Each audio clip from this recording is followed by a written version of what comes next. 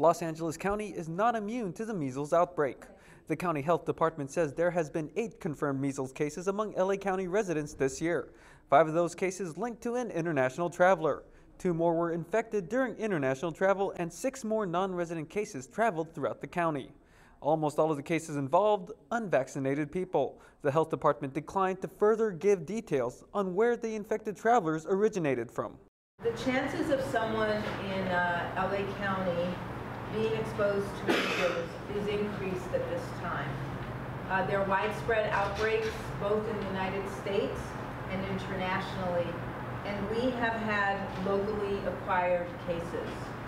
We're likely to see more cases in LA County, and the best way for folks to protect their own health, the health of their family, their friends, and neighbors uh, is to get the measles immunization. With measles finding its way through international travel in one of the country's most diverse regions, the health department is reaching out to communities in multiple languages. Importanteng malaman ng mga Pilipino, hindi lang Pilipino pero lahat ng tao sa LA County na nangyayari to. Pero um, siguro narinig nyo na sa balita na merong outbreak ng measles sa Philippines. So importanteng malaman ng mga tao to. Ang kailangan lang natin malaman ng lahat ng tao na yung bakuna ang pinaka epektibong paraan para makaiwas sa measles. The health department says insurance and immigration status should not prevent anyone from getting vaccinated.